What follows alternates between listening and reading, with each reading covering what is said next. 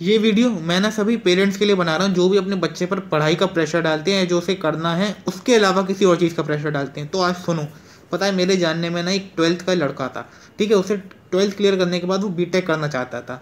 IIT की तैयारी नहीं कर रहा था, वो ऐसे भी किसी यूनिवर्सिटी से बीटेक कर लेता तो वो यूनिवर्सिटीज़ के एंट्रेंस एग्ज़ाम दे रहा था। उससे उसमें एंट्रेंस एग्ज़ाम क्लियर हो जाता है doctor A P J Abdul Kalam technical university का। अब जो लोग इस यूनिवर्सिटी के बारे में जानते हैं, उन्हें पता हो कि ये यूनिवर्सिटी यूपी में है और वो लड़का यहाँ से बीटेक करना चाहता था, जो कि अच्छी बात थी, अच्छी यूनिवर्सिटी है, बढ़िया उसका चार साल में बीटेक कंप्लीट होता और फिर वो अपनी जॉब करने बैठ जाता, ठीक है? यानी लाइफ सेट उसने अपना एम बना रखा था, ठीक है? उस एम पे वो वर्क कर रहा था प्रोग्रेस भी कर रहा था। पर अब एंड टाइम पर जब उसका सिलेक्शन हो जाता है यूनिवर्सिटी में और वो अपने पेरेंट्स से परमिशन लेने आता है कि मुझे जाना है अब तो उसके पेरेंट्स उसे मना कर देते हैं, उसे जाने नहीं देते वो कहते हैं कि तुम्हें तो नीट करना है, तुम्हें तो डॉक्टर बनने की तैयारी करनी है। तो पता है वो करेंटली वो लड़का क्या कर रहा है? अपने ये ट्वेल्थ करने के बाद कोटा में जाके पी डब्ल्यू सी नीट की तैयारी कर रहा है। अब यार नीट की तैयारी करने में उसे कम से कम दो साल लगेंगे, और अगर उससे नहीं निकला दो साल में नीट तो फिर एक साल एक्स्ट्रा लगेगा हाँ? तो ऐसे उससे क्या हुआ? उसकी लाइफ के तीन ईयर वेस्ट हो गए।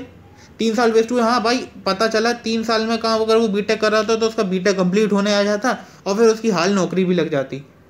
तो भाई, अगर जो बच्चा कर रहा है ना, आप उसे नहीं करने दोगे ना तो उसकी लाइफ की लग जाएगी ऐसी तैसी समझो इस बात को सभी पेरेंट्स के। अगर आपके संग, आपने पेरेंट्स ने, आपके पेरेंट्स ने ऐसा कुछ किया होता कि जो आप करना चाह रहे हो या जो आज आप कर रहे हो, उसको करने से आपके पेरेंट्स ने आपको रोका होता तो फिर क्या होता? तो फिर आज आप क्या उसी पोजीशन पर होते जहाँ आप हैं? हाँ? भाई, आप पेरेंट्स का काम होता है बच्चे को परवरिश देना, सही और गलत के बीच फैसला करना, सिखाना। ये नहीं कि जो आपके लिए सही है, वही फैसला बच्चे के लिए भी सही बताना और उस पर थोप देना फैसला कि नहीं, आपको तो यही करना है। हाँ? तो यार, मेरी सभी पेरेंट्स से एक रिक्वेस्ट है कि आप सभी बच्चे को जो करना है, वो करने दीजिए। प्लीज़ प्रेशराइज मत कीजिए किसी चीज़ के लिए। देखो प्रेशर ना ज़िंदगी में सिर्फ़ एक ही चीज़ का आता है। समझ गए होंगे आप लोग हाँ?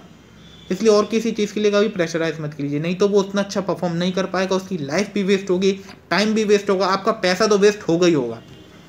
ठीक है? यही मेरा मैसेज था आप सभी को इस वीडियो से। अच्छा लगाओ तो मिलते हैं बात